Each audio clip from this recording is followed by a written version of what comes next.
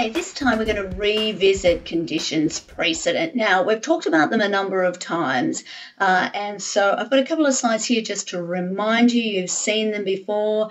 Uh, it's basically remembering that a condition precedent is essentially a kind of checkpoint uh, that needs to be satisfied or waived before the completion of a business sale and purchase agreement or a share sale and purchase agreement.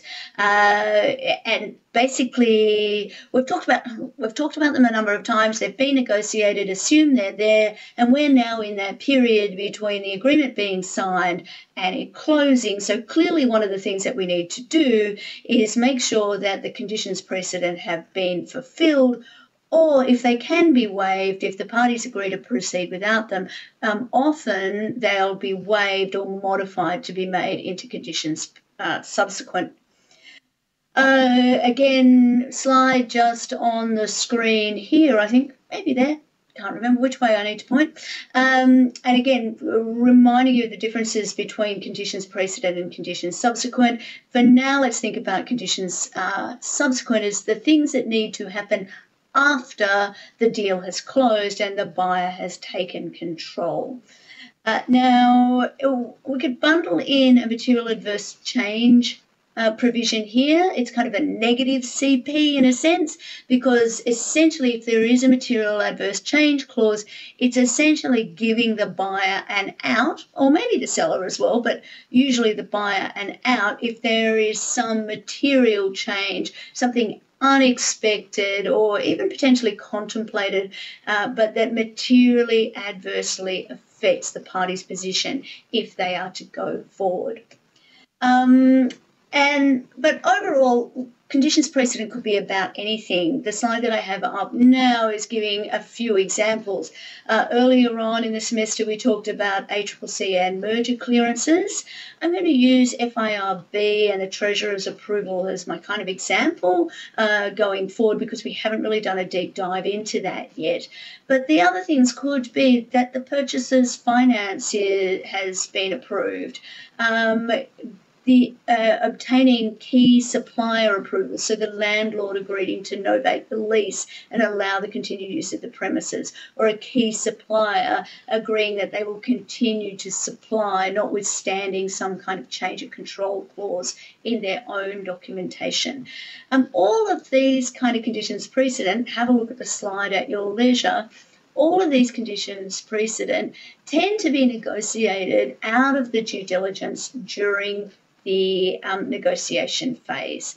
Uh, every deal is unique, as I keep on saying, but every deal will throw up things that the parties might not be able to have completely sorted out at the point in time when the agreement is signed, but that need to be completed in order for uh, closure to occur and for the arrangements to to result in the buyer owning the business and the seller selling it.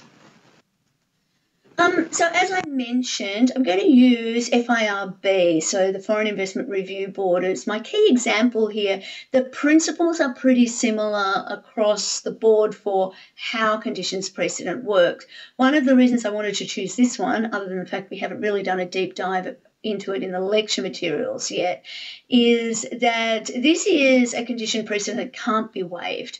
Um, if FIRB approval is required, or if the Treasurer's approval, approval is required, or a notification or a waiver is required, um, we can't proceed without it. And I'll explain why in just a moment.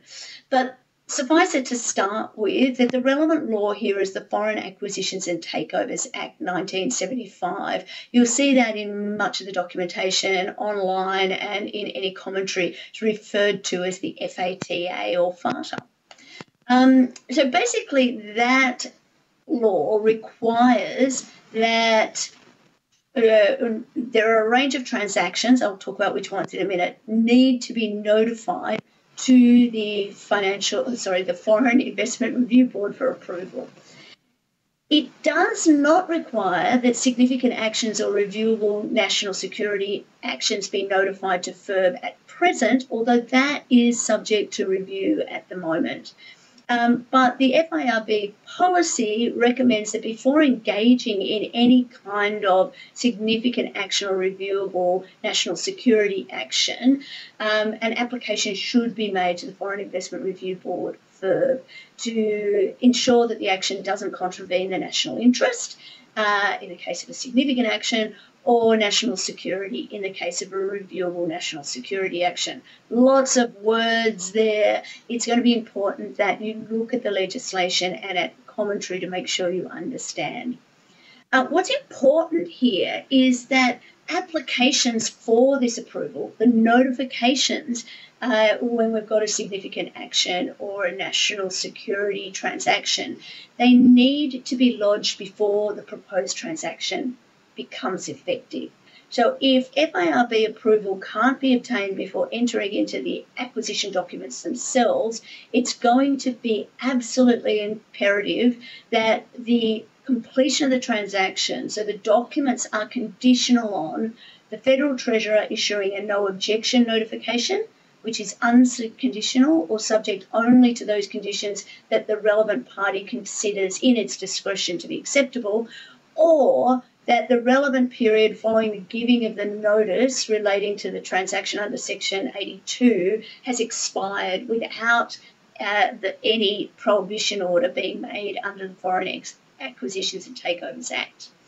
Um, otherwise, you're going to be in a world of pain. This, um, the Foreign Investment Review Board process is a true condition precedent, uh, and so the actual effect of the contract needs to be conditional on that process being completed.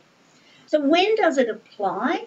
Under Section 4 of FATA and Regulation 18 of the Foreign Acquisitions and Takeovers of Regulations, so FATR, um, it applies when a foreign person is uh, proposes to uh, uh, proposes to enter into a notifiable action or notifiable national security action.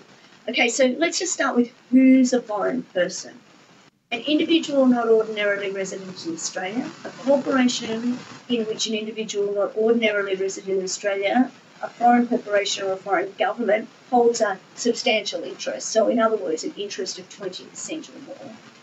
Uh, thirdly, it could be a corporation in which two or more people, uh, persons and legal persons, each of whom is an, oh, sorry, not necessarily all legal persons.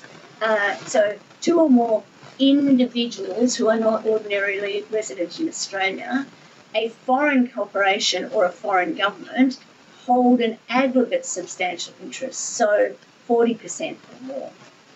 Uh, it applies where we have a trustee of a trust in which the individual not ordinarily resident in Australia, a foreign corporation or a foreign government holds a substantial interest, so 20% or more. Uh, the trustee of a trust in which two or more persons, each of whom is an individual not ordinarily resident in Australia, a foreign corporation, or a foreign government hold an aggregate substantial interest, so together 40% or more. A foreign government or a foreign government investor, a general partner of a limited partnership in which an individual not ordinarily resident in Australia, a foreign corporation, or a foreign government holds a substantial interest 20% is our benchmark still, and a general partner of a limited partnership in which you get it, two or more people, each of whom is an individual not ordinarily resident in Australia, a foreign corporation or a foreign government, together hold 40% or more, an aggregate substantial interest. So the other terms there are notifiable action or notifiable national security action. So essentially, it's notifiable if there would be a change of control that results in a foreign person achieving, so as we've just described, that foreign person achieving those threshold interests or greater if the transaction is successful.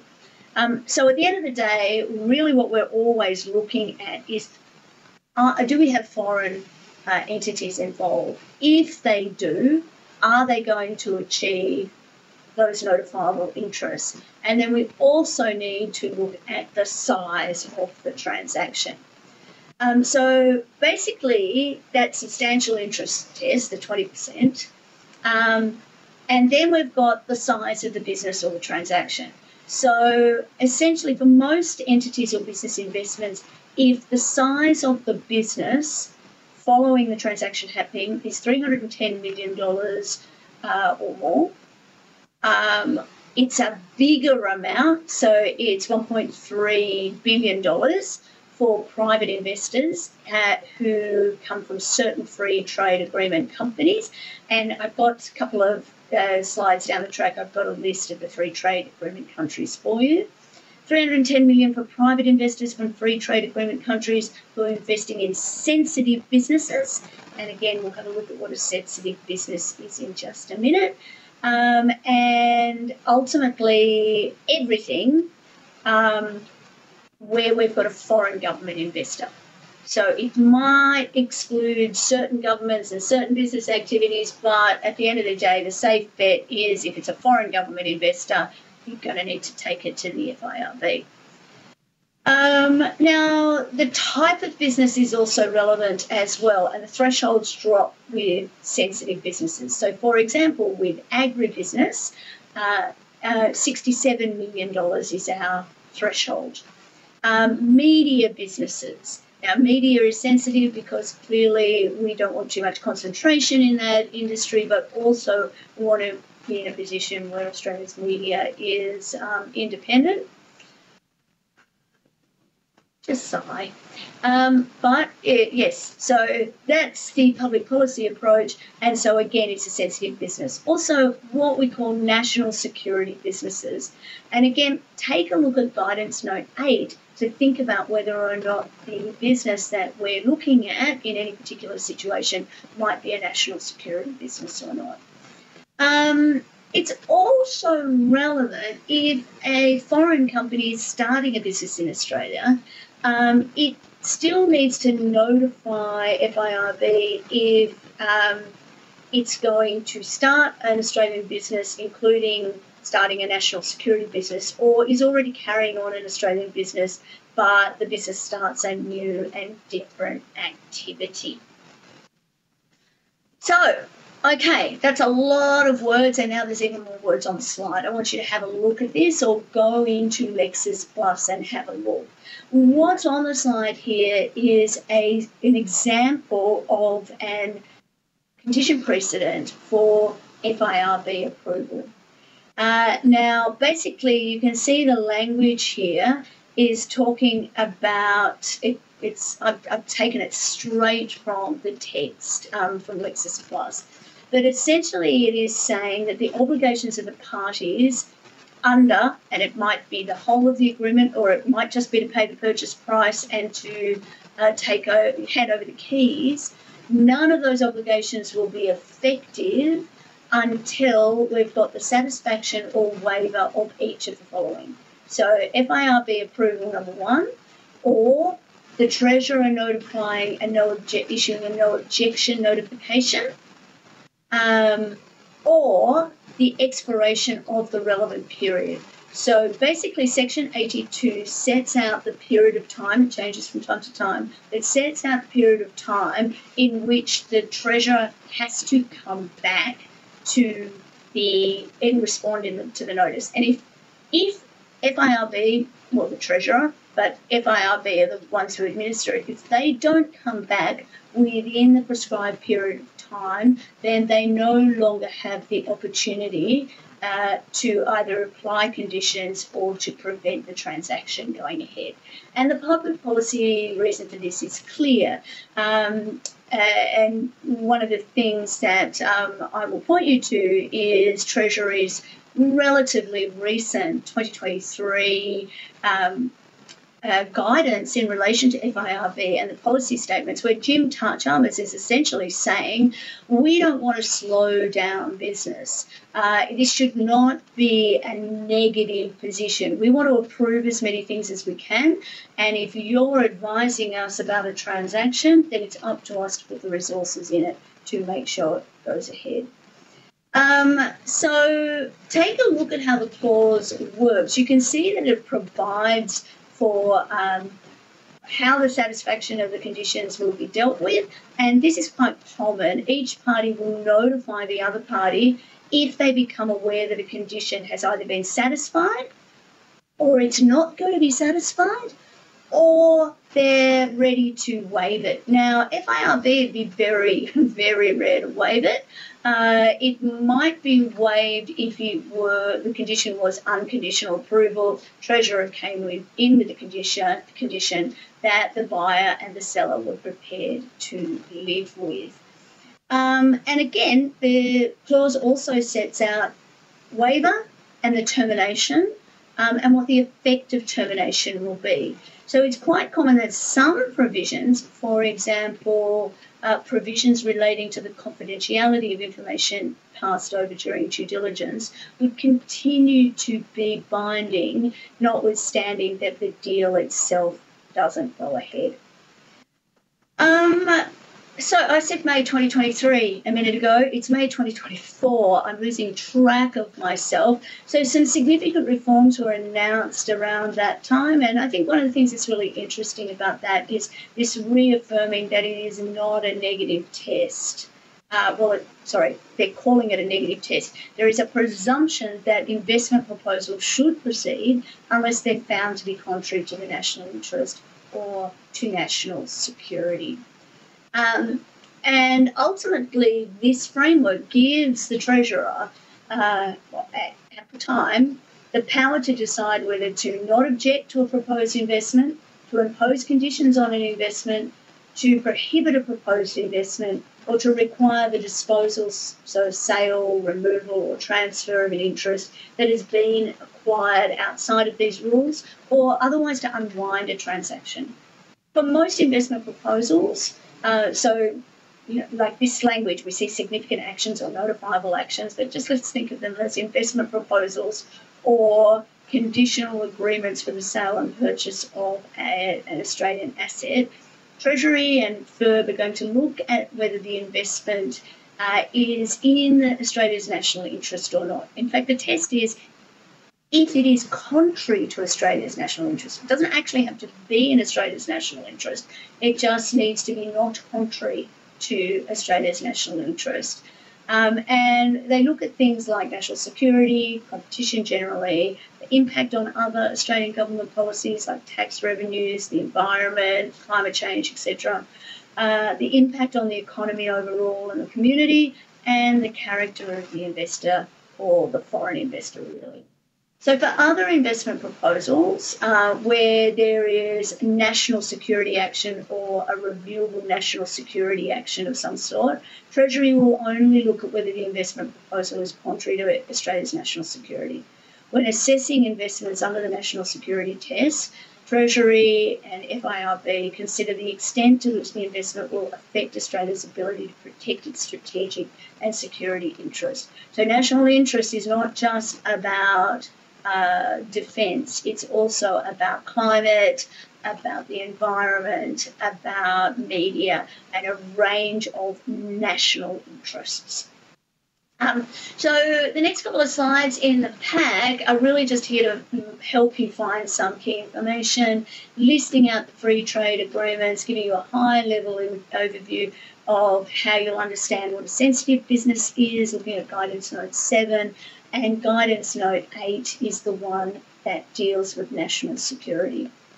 Um, and then the last slide, oh, I don't seem to put any pictures on it. I'll do that after I finish here. Um, ultimately, when we've got to the completion phase, one of the key tasks that lawyers will have is ensuring that all of the conditions precedent have either been signed off that the notices have been given in accordance with the relevant provisions in the agreement or they have been waived.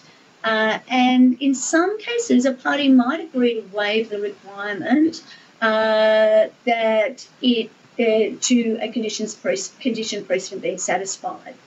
Um, often it'll do that if it's immaterial uh, to them at the end of the day, that they, they're satisfied that it's all going to be okay. But if it's a bigger issue, they may actually just shift it and say, okay, let's make that a condition subsequent. Um, we're pretty sure it's all going to happen. It must happen after the deal goes uh, on. But if it doesn't happen for some reason by some later date, or if we aren't able to achieve it by a particular date, then there's going to be a subsequent purchase price adjustment of some sort. Um, okay, so that's all I had for this uh, little video recording. I just want to know, even though I've concentrated here on FIRB, I want to remind you that the principles about the passing um, or fulfillment of a condition precedent or decisions whether to waive it are important. And one of the reasons that I highlighted FIRB is that because the law effectively says that the treasurer can undo these transactions. Uh, and even declare that they are not effective. Uh, and so any agreement needs to, uh, where there is a notifiable interest or where FIRB approvals are required will need to be notified and the time period will need to be followed through. Questions, concerns, frustrations, compliments? With the drill.